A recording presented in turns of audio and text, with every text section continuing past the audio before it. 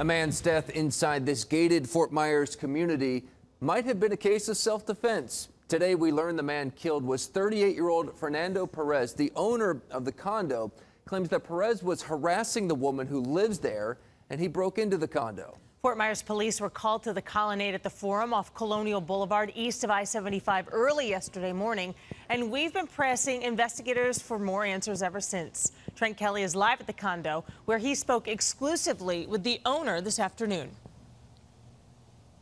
Yeah, Kelly, we are live behind that condo unit tonight where the owner tells me Perez was able to break in. In fact, if you take a look at this rip in the screen here, that's how he claims Perez was able to open up this door. But if you look further back, you'll see that sliding glass door. The owner tells me Perez actually lifted that off its hinges. The reason you now see it covered in that sheet metal. But what happened next once Perez got inside is now the center of a homicide investigation a case of self-defense. That's how the owner of this Fort Myers condo describes what happened inside, a deadly confrontation which left this man, 38-year-old Fernando Perez, dead. It's very, very unsettling very unsettling. According to the owner, Perez had been harassing his tenant, a mother to two young kids, for several months. He says the night before the confrontation, his tenant asked a male friend of hers to stay overnight for protection. That's when the owner claims Perez broke into the condo through the back porch.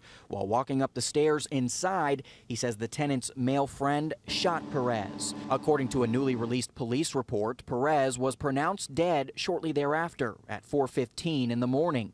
While it does list his death as a homicide, the owner of this condo claims it was a justifiable homicide, something neighbors want to hear from detectives themselves before their fears can go away. You kind of want to know how he knew where to go, what, what, if the security cameras were working, how he got in through the gate. Now, I did ask the Fort Myers Police Department today if they are in fact investigating this as a justifiable homicide. So far, though, I have not heard back.